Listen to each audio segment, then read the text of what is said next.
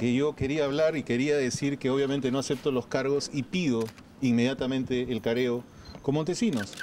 Pero no sé por qué razón en ese momento levantaron la, sesión como ustedes han sido testigos. Bueno, espero que el próximo martes, ¿no? El próximo martes poder aclarar ese tema. Yo he venido a decirle al Poder Judicial que vengo a limpiar mi nombre y el apellido que le pienso heredar a mis hijas.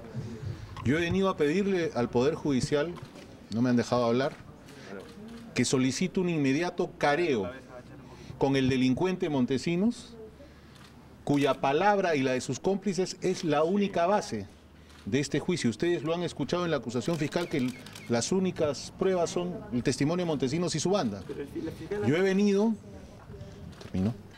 a presentar las pruebas de mi inocencia, porque yo sí tengo pruebas de mi inocencia y voy a confrontar cada una de las mentiras de Montesinos. Y he venido a pedirles que me condenen si es que hay alguna prueba que sustente pues el bla bla bla de Montesinos. ¿Qué le parece que la fiscal haya dicho que no hay contradicciones con Matilde Pinchi Pinchi, eh, la señora Arce y el propio Vladimiro Montesinos? No encontró ninguna contradicción. Bueno, es evidente, pues trabajan en banda, ¿no? Ese es un combo. El mismo combo que acusó a Marta Chávez, a Carmen Lozada de Luz Salgado, me acusa a mí. Ese es un juicio gemelo. Del juicio que Marta Chávez fue absuelta después de tres años, recuerdan, y, salió del Congreso tres años. O sea, este juicio ha quedado demostrado hoy en la acusación fiscal que se basa en la palabra de un delincuente y su banda. No hay una sola prueba más que sustente los cargos que hoy hemos escuchado. Y los cargos son tan absurdos como que yo me dedicaba a hacer cenas en Palacio de Gobierno. Y era Marisa Yulfo, que hace un publicista haciendo cócteles.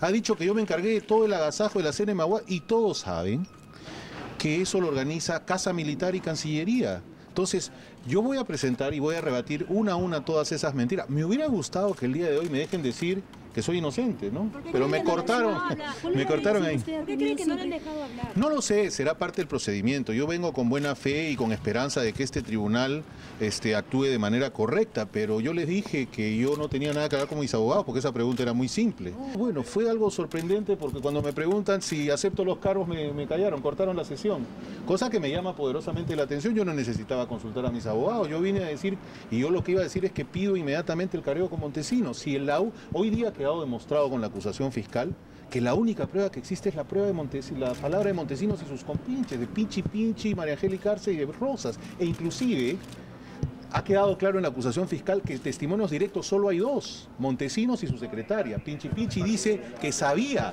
que yo recibía dinero y Rosas dice lo mismo. Entonces se reduce a dos testimonios.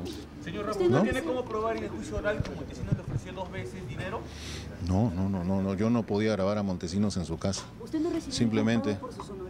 Sí, por supuesto. Yo he recibido por la campaña. Mira, aquí hay que diferenciar dos cosas que son bien importantes. Yo era un publicista de Palacio de Gobierno. Yo no era del CIN. Los publicistas del CIN son dos argentinos que están fugados del país, por razones obvias. Yo era el publicista de Alberto Fujimori, como la prensa lo sabe.